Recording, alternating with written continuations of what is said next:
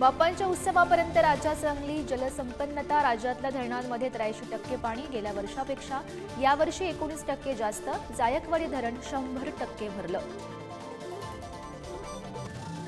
राज्यभरात गणेशोत्सवाची धूम आज दीड दिवसाच्या बाप्पाचं विसर्जन होणार.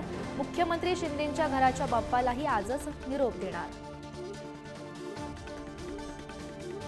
केंद्रीय गृहमंत्री अमित शहा महाराष्ट्राच्या दौऱ्यावर लालबागच्या राजाचं दर्शन घेणार.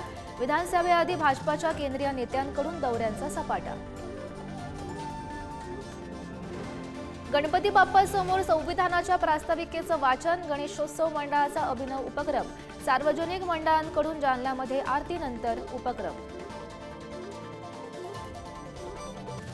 मुख्यमंत्री एकनाथ शिंदे आज आळंदीत वारकरी पूजनाच्या सोहळ्याला उपस्थिती लावणार. दादा भुसेही असणार सोबत उपस्थित.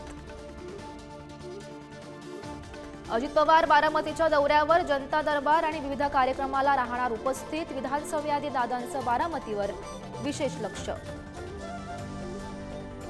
आज सकाळी अकरा वाजता जरांगेंची घोंगडी बैठक मुंडेंच्या परळीत. धनंजय मुंडे आणि पंकजा मुंडे यांच्याबाबत जरांगे काय बोलणार याकडे लक्ष?